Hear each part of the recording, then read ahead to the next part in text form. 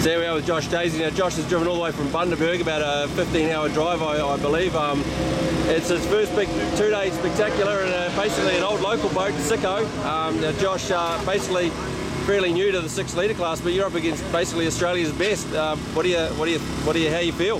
Uh, well, all the guys that are Australia's best haven't always been Australia's best. They had to start somewhere, and that's where we are. Um, done a bit of driving against some fast guys. I uh, don't know how we'll fare up this weekend, but uh, hopefully we've uh, well enough prepared that we can have a good run and not have any issues.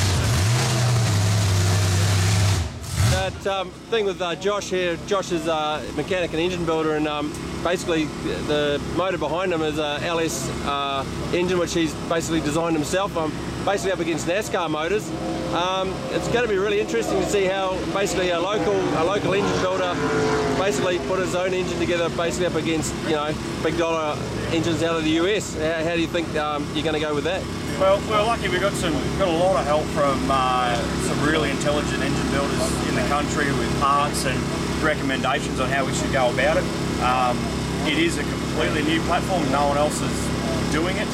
Um, it is, you know, like when you compare it to these NASCAR engines that a lot of guys are running, or old small block Chevs that have been done and done again for decades and decades. It's something different. Uh, it seems to be quick from all the testing we've done, but we won't really know until we get out there and give it a go. And and if we aren't fast enough to uh, to stick it up there with these really fast guys, then we'll go back to the drawing table and come out faster next time.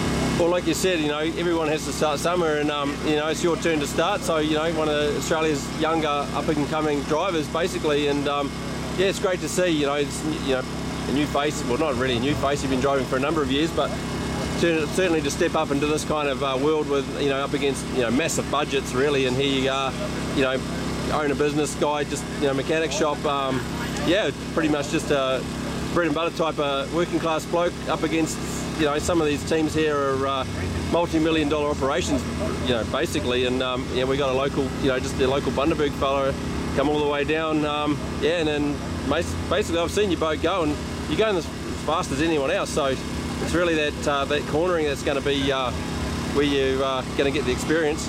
Yeah, well, that's it. Um, it's all about seat time from the racing that I've done. Like I've driven some quick boats. I've been around six litres for a while now. But, uh, you know, there's no substitute for seat time. And, and if uh, all we take away from this weekend is me having a little bit more experience and, and just sort of picking away at a few of the things I need to learn as a driver, then that's still going to be a really good accomplishment.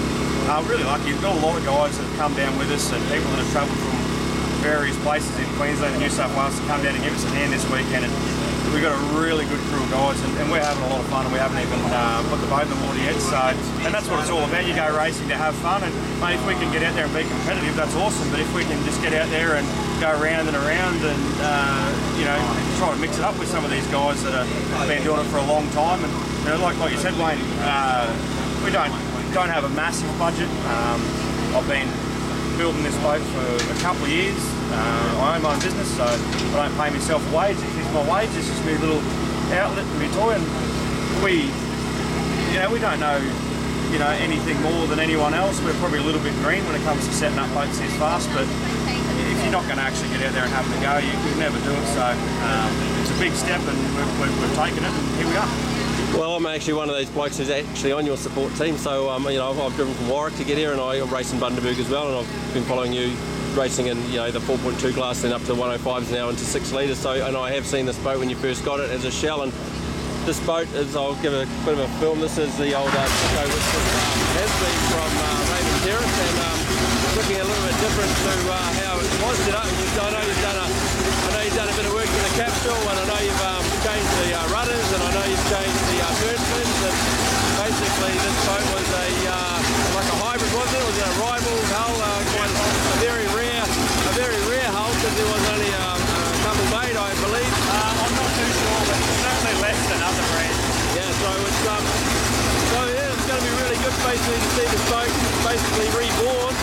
Uh, it was a competitive boat in its former life, uh, and it showed us plenty of. Uh, think Josh. You'll um, basically uh, hopefully bring that potential right out the front. Well, that's it. You know, was a blind leader and I won a lot of things, and I just hope that I can have similar sort of success and, and do everyone proud. Mate, well, good luck for the weekend, and um, mate, um, I'm rooting for you, and um, mate, and uh, good luck, and mate, I mean, uh, we'll just have a beer at the end of the weekend and uh, see where we're at.